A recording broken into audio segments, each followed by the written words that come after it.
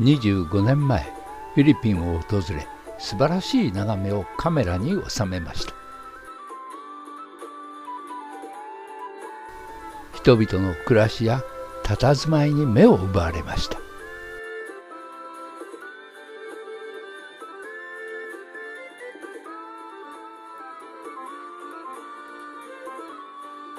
この時案内してくれた萩尾幸俊さんとの出会いが私の写真人生を方向づけたのです。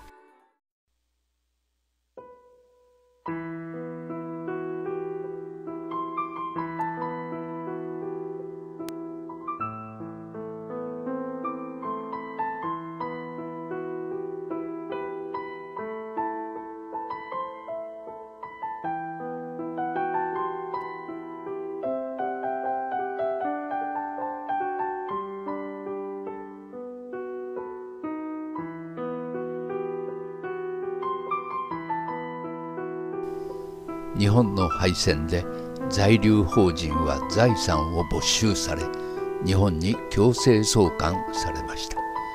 父親と離別死別して残された日系2世が日本軍の残虐行為への報いを一身に浴びることになったのです。あの戦争後フィリピンに残された孤児や日系人は3,000人近くに上りました。90年代の半ば日本政府に救済を求めて集団帰国したフィリピン残留日系人の中心人物の一人が萩尾幸俊さんです。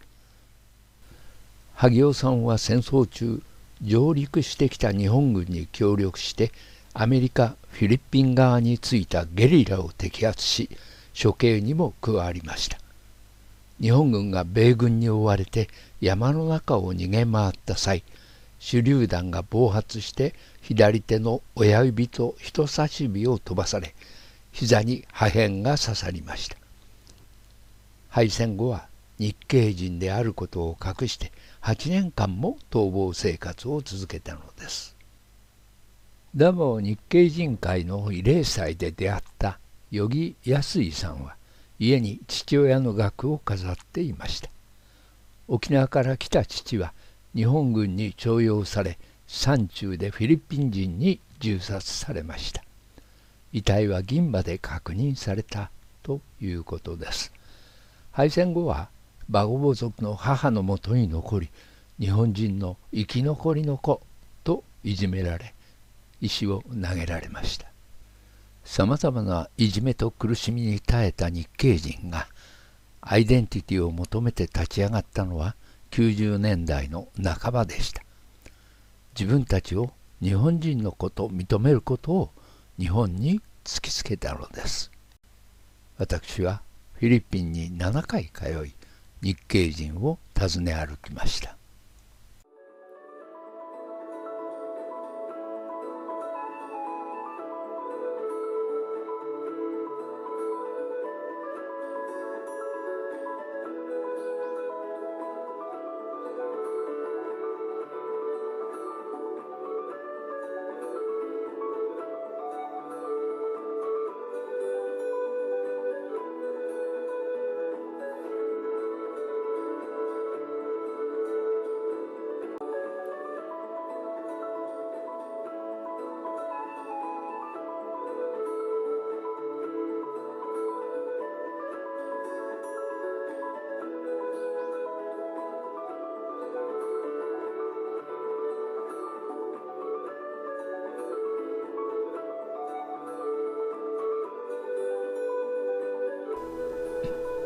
日本人2世に出会う中で痛感したのはこの国日本が戦後半世紀以上経つというのに戦争の後始末をしていないということです。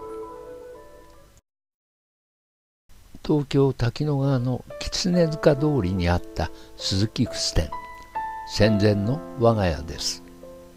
父親は旅行好き。両親ともに芝居好きで戦争中の1943年昭和18年10月にも明治座に芝居を見に行ったプロマイドがありました。一人っ子で可愛がられました。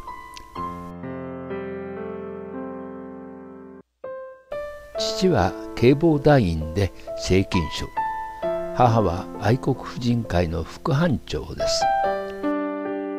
私の七五三の祝いは陸軍大将でした。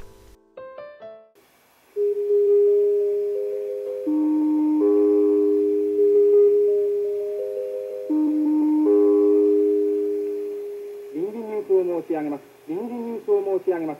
大本営陸海軍部12月8日午前6時発表帝国陸海軍は本8日未明西太平洋においてアメリカイギリス軍と戦闘状態に入れ臨時ニュースを申し上げます帝国海軍は本8日未明ハワイ方面のアメリカ艦隊並びに航空兵力に対し決死の大空襲を敢行せり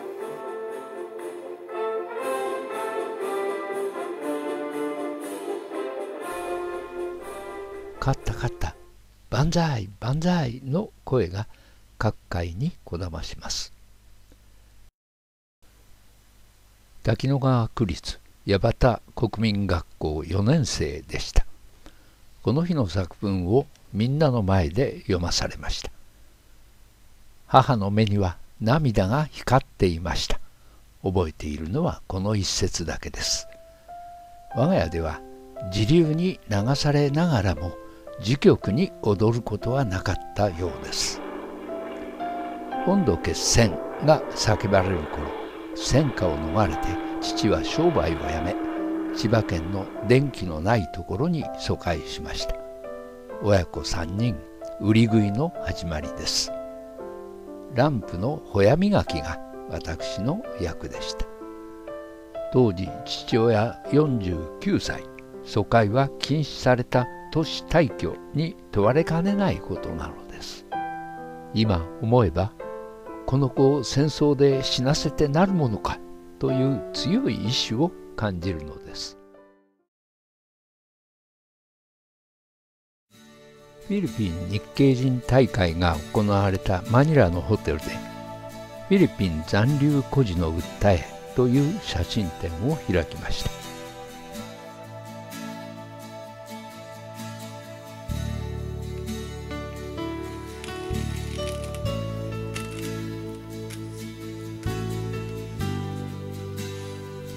感想文には「It's great」「Thank you」の言葉が目立ちます。その後銀座で写真展を開催し本も出版しました。たくさんの人から感想意見が寄せられました。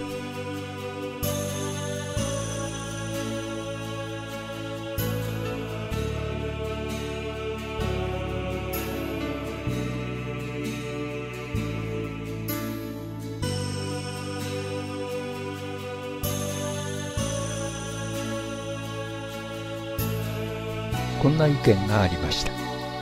第二次大戦での日本軍の行為について日本はアジアで何をしたのか日本人はもっと自らの問題として捉え直視しなくてはいけない。全く同感です。その後カメラを向けたのも日本と中国韓国の日本が戦争の後始末をしてこなかった問題ばかりです。戦争末期疎開した我が家は町から離れた集落で東京の下町が焼き尽くされた夜も赤く染まった空を眺めただけでした。そして終戦。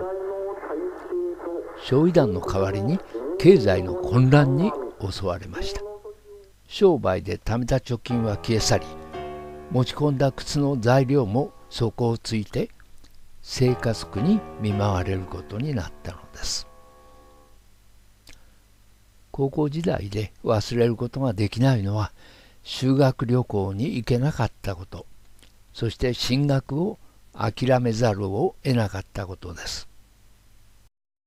体の弱った父に代わって家業を継ぐ以外に一家三人の生きる道はありませんでした。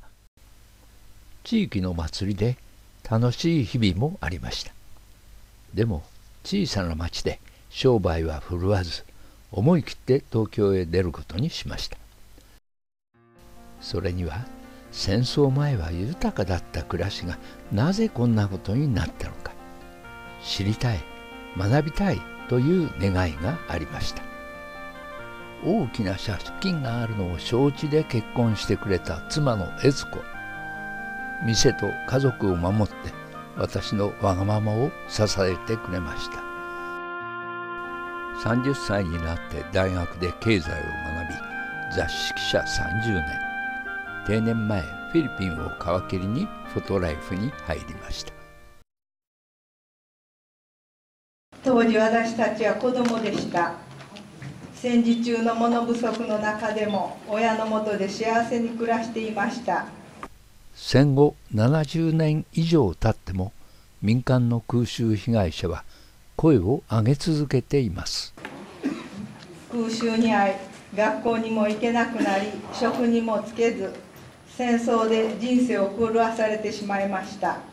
あの昭和20年の3月10日の東京大空襲であの両親と生後3ヶ月の妹を亡くし住む家もなくなり3歳の時孤児となりました空襲は家族の大切な命とともに人生も奪い取り残された者の人生も変えました。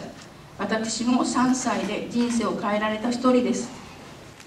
国家の責任で起こしてしまった戦争で被害を受けた。国の責任が明確なんですよ。東日本大震災よりはるかに明確な責任がありながら何の保証もないというのはいかがなものかとずっと思い続けてまいりました。この国は軍人の遺族には40兆円も保証しておきながら民間の空襲被害者には微体一文出していないのです。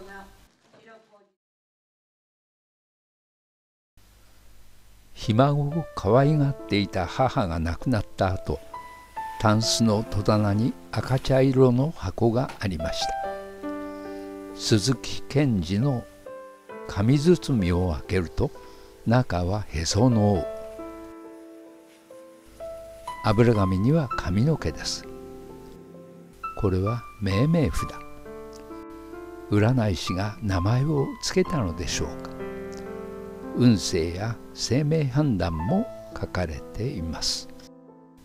父が64歳母が97歳でこの世を去った後に残されていたのです。実はだいぶ前自分の出生を調べて生みの親が別にいたことを知りました。土佐回りの座長の愛人が産んだ直後に座長が急死。困り果てた末人の世話で子供を欲しがっていた鈴木家に譲ったということです。母は死ぬまで話しませんでした。戦争中店を畳むまでして疎開したのは跡継ぎができた家を守るためだったと思えるのです。フィリピンから始まった写真生活でたくさんのことを学びました。